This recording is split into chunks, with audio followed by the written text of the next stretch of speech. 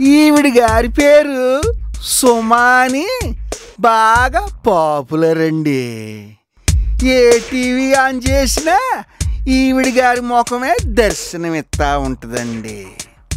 కేరళ నుంచి వచ్చి తెలుగులో ఉన్న యాంకర్లు అందరినీ ఓవర్టేక్ చేసేసిందండి. ఆడియో రిలీజ్ ఫంక్షన్లో హీరో మారతాడు హీరోయిన్ మారుద్ది డైరెక్టర్లు ప్రొడ్యూసర్లు మారుతారు. హాల్ అయినా మారిపోద్ది కానీ ఈవిడ మాత్రం పెర్మనెంట్ అండి.